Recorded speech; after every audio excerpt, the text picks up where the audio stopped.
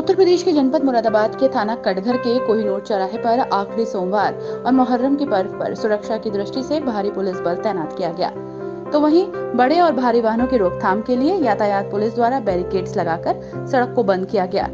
दरअसल, आप खुद इस वीडियो में देख सकते हैं कि किस तरह पुलिस कांवरियों को लेकर अलर्ट मोड पर नज़र आ रही है। यातायात पुलिस कर्मियों द्वारा करूले की ओर से आने वाले कांवरियों के जत्थों को यातायात रोक कर निकलवाया जा रहा है। कोहिनूर चौराहे पर लगे यातायात पुलिस कर्मी भारत सिंह बड़ी ज़िम्मेदारी के साथ अपनी ड्यूटी को बखूबी अंजाम देते नज़र आ रहे हैं। गौरतलब है कि इसका वीडियो भी सोशल मीडिया पर जमकर वायरल हो रहा है।